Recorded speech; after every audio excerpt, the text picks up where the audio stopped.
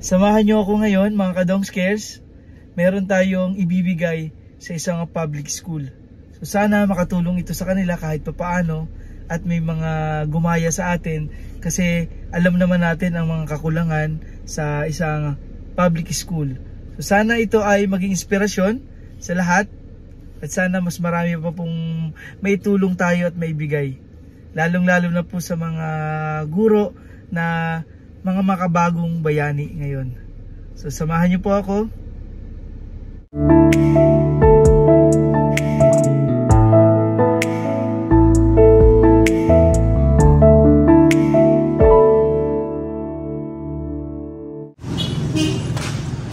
Matanong ulit ako.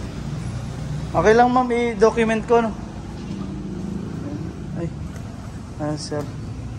Bali ito po yung mga ceiling fan nyo.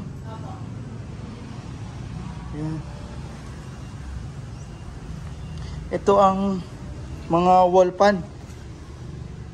Ah, wall, oh, wall pan po ito. So, ang donate po natin sa school ay ceiling pan. Magkano po ito? 1.5 1.595 So, ito na yung bibili natin.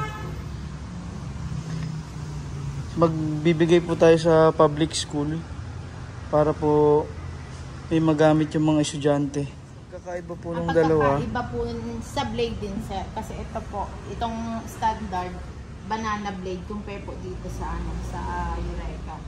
Saka ang kagandahan po, mas kilala po mas kilala po yung quality ng standard compare sa Eureka. Ah, kaya mas mahal po Opo. yung itong standard. yung pangalan po ng standard yung ano din ng yung quality din po nila. Kasi itong standard Matagal halos na din po kasi. 2,000 Halos, kumbaga, pesos. Kilala na din po nila. Yung, itong Eureka mas mura po. Mga 1.5. Apo, 1 1.5. Mm. Kasi gagamitin sa ibibigay natin doon sa public school. Bale, ito na lang matibay at kilala yung quality. Standard po.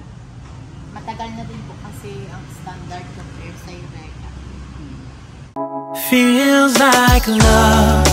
Cupid made a shot straight into my heart. Now I'm falling fast and my world's expanding. Feels like love, even though we're kinda nervous. Together we'll be strong.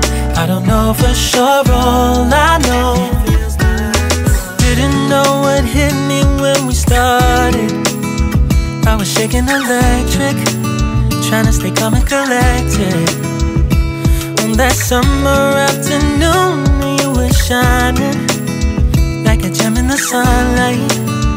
We were out until midnight, yeah. You said, Do you wanna go out sometime? I said, Girl, you read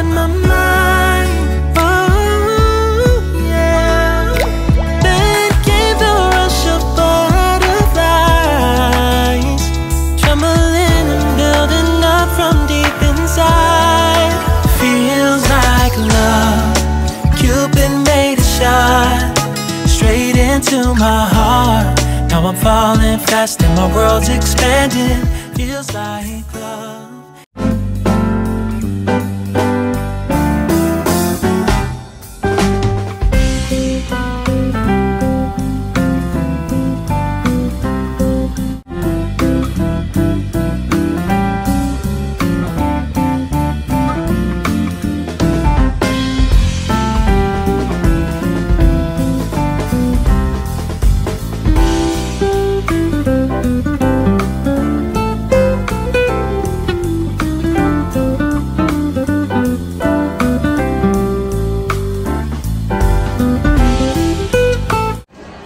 Hello ma'am, Ah, magandang hapon sa inyo.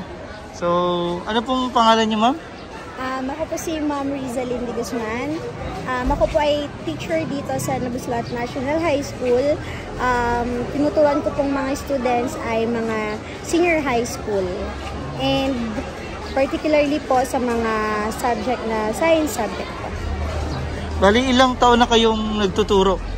So, for this um this coming May po or this coming Um, next year po ay magsi 6 years na po akong teacher dito sa public school.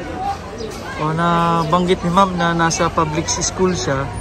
Ano yung mga masasabi nyo sa pagiging public school teacher kasi kayo yung mga tinitingala ng mga bata, nagiging modernong bayani kayo sa mga mata nila dahil ang school ang nagiging pangalawang tahanan ng mga bata.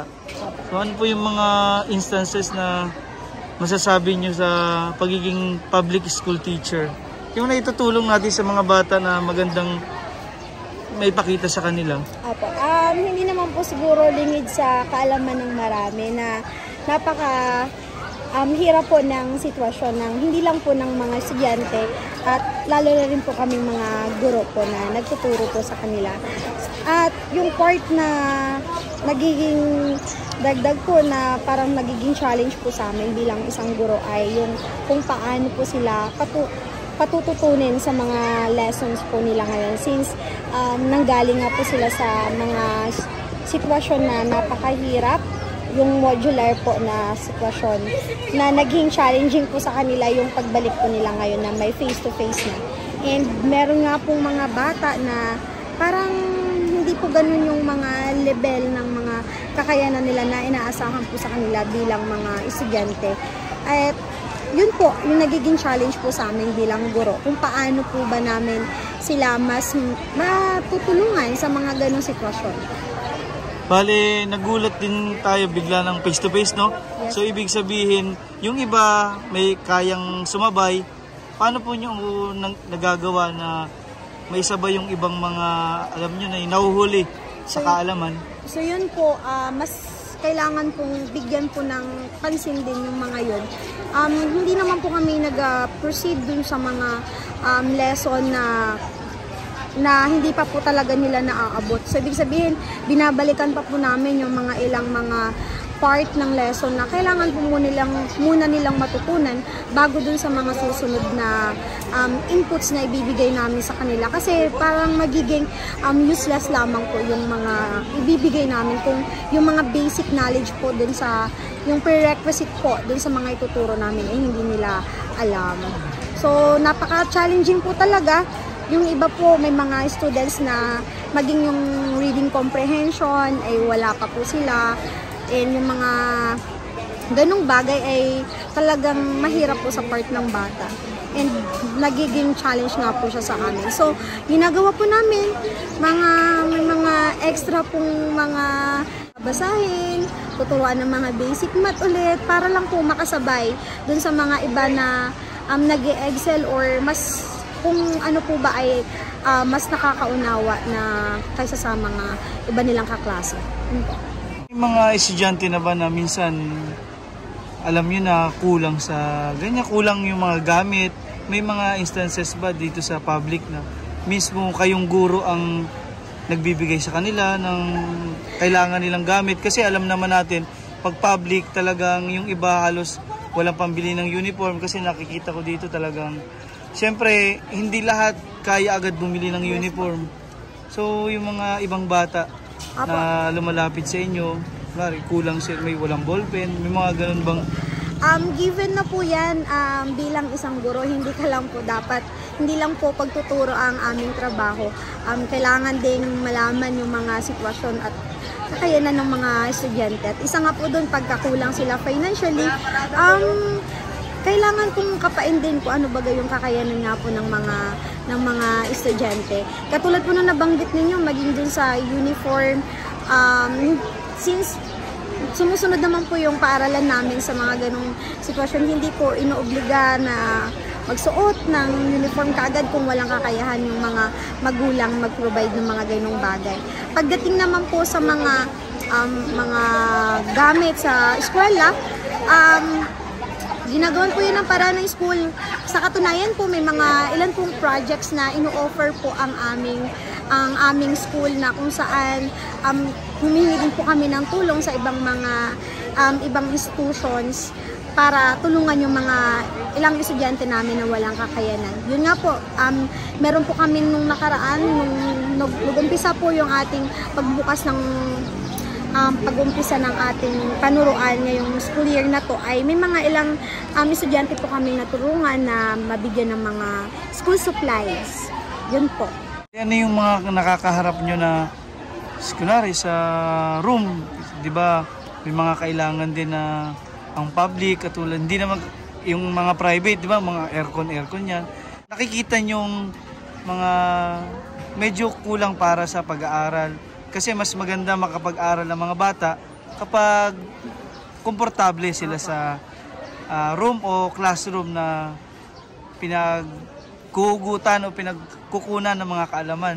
Dala din po ng hirap ng buhay ay lumuhubo po yung bilang ng estudyante namin ngayong taon na to ay noong mga nakaraang taon pa po. And isa po sa mga nagiging problema po namin, syempre po yung bilang ng classroom and then kung paano po mas magiging conducive yung mga classroom namin. So, minsan nga po umaabot kami ng 50 students sa isang classroom and more than pa po minsan. So, isa po sa mga nagiging problema nila ay yung sobrang init na classroom. Siguro po ay hindi lang naman kami nakakaranas pero isa po talaga yun sa nagiging problema namin. And hindi naman po kayang i-provide lahat yun ng ating paaralan. And salamat po sa mga tao na tumutulong po sa amin upang um, matugunan yung mga ganong klase ng problema. And sa mga tutulong pa po, eh, maraming salamat po kagad sa inyo. Salamat din ma'am sa inyong time at pinagbigyan niyo ma'am Riza sa inyong mga insight para malaman din po natin ano yung mga nangyayari sa public school lalo na sa inyong mga estudyante. Maraming salamat po sa inyo. Thank you po, sir. God bless po. God bless you.